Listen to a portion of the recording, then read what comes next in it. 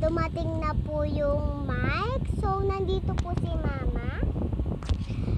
So, sobrang saya ko po. Nandito na po siya. So, ang gagamitin muna po natin, ito po, yung earphone. So, iti-testing po natin itong mic. So, ito po yung balot niya.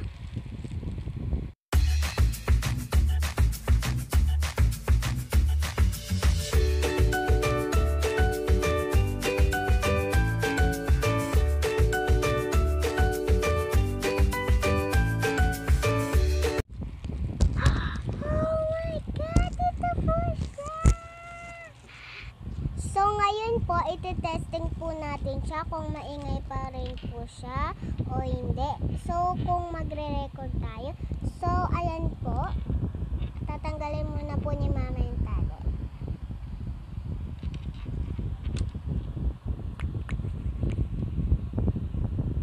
Oo. Tatanggalin po natin.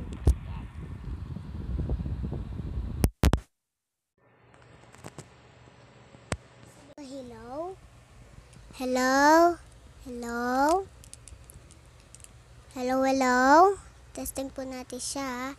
Hello? Hello, hello? So guys, nakakabit na po siya. Naayos na po ni Mama.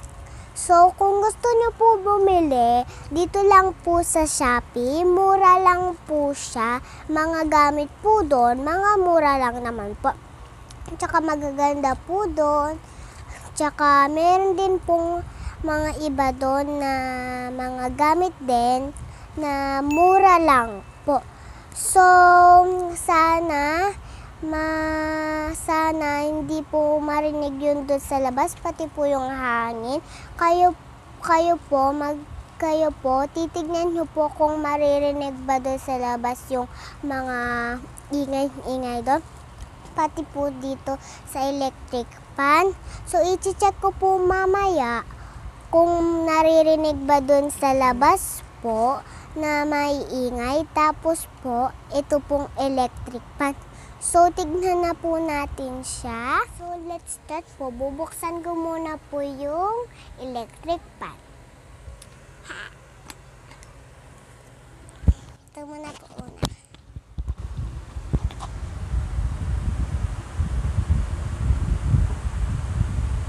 Next naman po,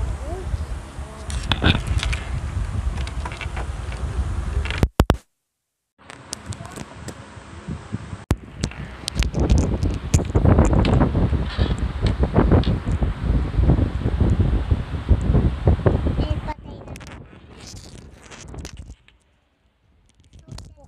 So, bago po tayo magpaalam, don't forget subscribe and like and share. See you tomorrow, guys. Bye!